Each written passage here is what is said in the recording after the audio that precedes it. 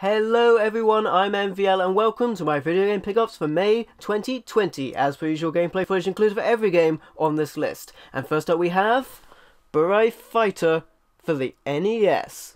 This is a shoot 'em up game. In a remote corner of the galaxy, there lives a race of super brains known as the Burai. For thousands of years, their vast mental capabilities have been focused on one goal the conquest of the universe. To accomplish this, they are creating huge armies of robo-mutants, bizarre creatures, half robot and half living flesh. With their seven manufacturing bases producing thousands of robo-mutants each day, the Burai armies will soon overrun the galaxy unless you can stop them. Strap on your proton pack, charge up your laser cannon, and prepare to do battle with the deadliest army of mutant rogues in the universe. You must somehow penetrate the seven bases of the Burai where you will confront a super mutant guarding each base. But with the awesome arsenal of weapons at your command, victory may still be within your reach. It's up to you to rid the universe of the evil Burai once and for all. Defeat the Burai using massive weaponry in Burai Fighter on the NES.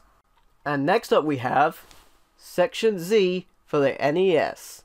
This is a shoot 'em up game. Planet Earth in the year 2XXX. You are relaxing at the console of your computerized superconductor generated interplanetary satellite communication system. Suddenly, high frequency radio and television transmissions blast warnings to all inhabitants to prepare for the brutal invading forces of the Balangool Empire. Battle and defeat the space soldiers of the Balangool, penetrate their base divided in Section A through Section Z, then destroy Balangool Master Control, L Brain. Will you penetrate Section Z and defeat the Balangool Empire? You control the future of planet Earth in Section Z on the NES. And next up we have Twin Cobra for the NES.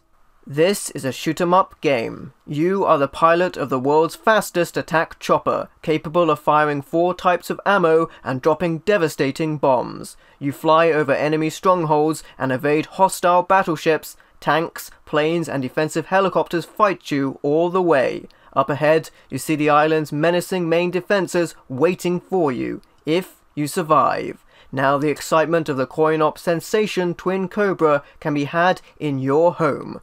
Join the Sami Assault in the greatest invasion ever launched in Twin Cobra on the NES. Next up we have Game & Watch Gallery 2 for the Game Boy Color. This is a collection of Game & Watch games, including Parachute, Helmet, Chef, Vermin, and Donkey Kong, all in enhanced color when played on the Game Boy Color. Take a fabulous journey back in time and play some classic video games launched around 20 years ago on Nintendo's legendary Game & Watch system, the predecessor of today's Game Boy. Five games are collected here, both in their original forms and in an improved modern day version. Five classic titles are back in color in Game & Watch Gallery 2 on the Game Boy Color. And next up we have Pocket Bomberman for the Game Boy Color. This is a platformer all of the sunlight has been stolen, and the only thing that will bring it back is a legendary sword located on top of a mountain. Only one person can get the sword, Bomberman. You take the role of Bomberman, blasting your way through enemies in 25 levels, blow up monstrous trees in the forbidding forest, blast angry fish while crossing the treacherous ocean, and dodge parachuting bombs in the soaring clouds. This is a new side-scrolling Bomberman game. As in the other games in the franchise, the player must position bombs and other obstacles to box in the opposition, then blow them to smithereens. After completing 5 levels, Bomberman must face a boss character to advance. Along the way, there will be plenty of power-ups to help Bomberman save the day. Help Bomberman rescue the world from darkness in Pocket Bomberman on the Game Boy Color. Next up we have Final Fantasy XII for the PlayStation 2. This is a role-playing game.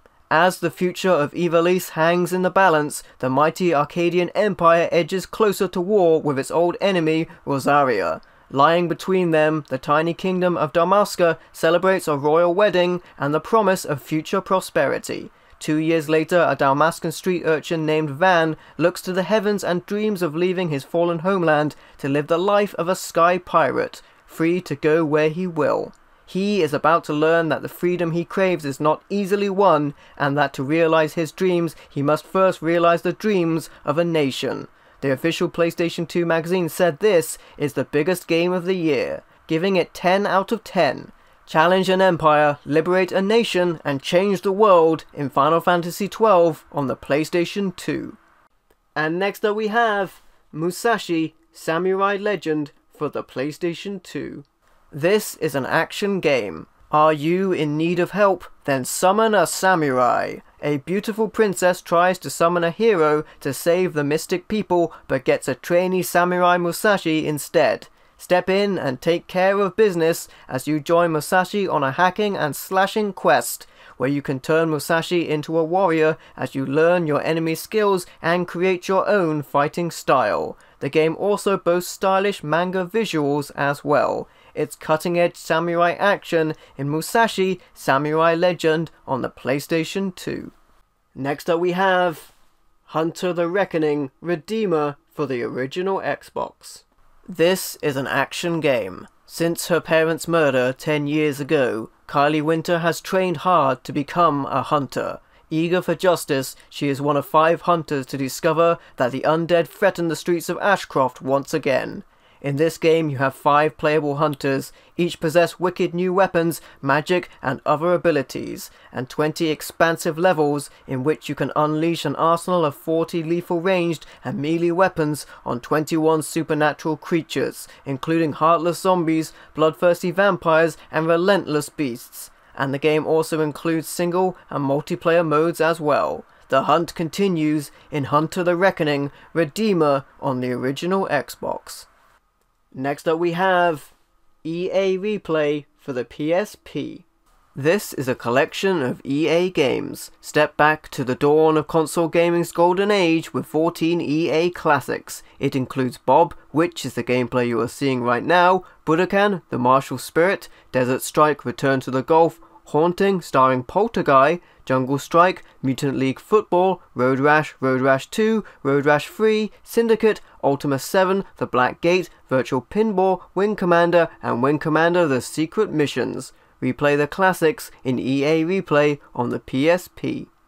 And next up we have Mac, Modified Air Combat Heroes for the PSP.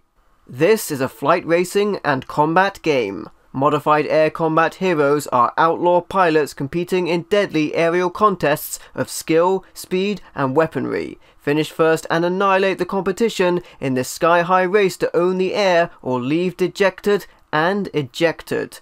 This game lets you rise through the ranks by defeating your rivals and unlocking customized parts and planes for enhanced speed and weaponry. This game features both racing and dogfight sections and also includes multiplayer modes as well. It's Fight and Flight in Mac Modified Air Combat Heroes on the PSP. And next up we have the Power Stone Collection on the PSP. This is a collection of Power Stone games. It includes Power Stone and Power Stone 2, which is the gameplay you are seeing right now. The legendary Power Stone fighting series smashes its way onto PSP, Chase the Power Stones to transform your fighter into the ultimate warrior. Pick up a plank and wade into the punch up or use deadly traps in the arena against your enemy. This collection includes both Power Stone games in full with new modes. It also includes multiplayer modes as well. It's a fight like no other in Power Stone Collection on the PSP. And next up we have Syphon Filter Dark Mirror on the PSP. This is an action game. As commander of an agency that doesn't officially exist, Gabe Logan specializes in missions too dangerous for conventional intelligence and too sensitive for a military response. Take control of this deadly precision strike operative as he is inserted into the field to uncover the latest threat to global security, a project known only as Dark Mirror. This game features 30 plus globe spanning missions, state of the art weaponry and gadgets, explosive combat and heart pounding stealth, and fast paced multiplayer modes as well. IGN gave this game 9.3, saying it's outstanding and it exploits just about every technical capability the little system has to offer, and GameZone gave it 9.5, saying it's one of those games that will make you glad you own the PSP system. There's no military, no special forces, just Gabe Logan in Syphon Filter Dark Mirror on the PSP. And next up we have Ultimate Ghosts and Goblins on the PSP. This is a platformer. Don your armor, brave knight, and gather your weapons once more. The kingdom needs you. You must descend into the underworld in this all new quest and battle new foes, undead and demonic, for the princess is being held captive in the very bowels of hell. Surely this will be your ultimate adventure. This is Action Reborn, as the arcade Smash Ghosts and Goblins series gets an all new chapter with new graphics and entirely new levels designed especially for the PSP. It's the ultimate adventure in Ultimate Ghosts and Goblins on the PSP. Next up we have Mortal Kombat Armageddon on the Nintendo Wii. This is a fighting game. The fury of Mortal Kombat has brought the realms to the brink of total destruction. Every warrior has been summoned to this epic battle where survival depends on their ability to fight. Experience MK in an entirely new way with special moves and fatalities executed via the Wii Remote. All play with the Nintendo GameCube and Classic controller as well. This game lets you fight with 60 plus characters, including the new Khameleon exclusively on the Wii, and create your own customized characters and fatalities, as well as experience a deep adventure in Conquest mode. You can also go racing MK style with up to 4 players in Motor Kombat. That's Mortal Kombat Armageddon on the Wii. Next up we have GoldenEye Reloaded on the Xbox 360. This is a first person shooter and is actually a retitled and remastered version of the Wii game GoldenEye 007, which in itself is a modern reimagining of the 1995 James Bond film GoldenEye and a remake of the Nintendo 64 game of the same name. And although Pierce Brosnan starred as Bond in GoldenEye, Daniel Craig's voice and likeness are used in this game, and the style matches the reboot films. It's refined, recharged, and reloaded as the Bond adventure that began it all returns in GoldenEye 007 Reloaded on the Xbox 360. And next up we have Lego Batman, the video game, on the Xbox 360. This is an action adventure game. I already had this game in a twin pack, but I wanted to pick it up by itself. Play as Batman and his sidekick Robin as you build, dive, swing, and fight your way through Gotham City. Then jump into the story from the other side and play as Batman's foes. There's no rest for the good or the evil. Xbox 360 World says this game is packed with bat goodness, and The Sun gave it 91%, saying it's brilliant. Gotham City is falling to pieces in LEGO Batman the video game on the Xbox 360. And next up we have SSX on the Xbox 360. This is a snowboarding game.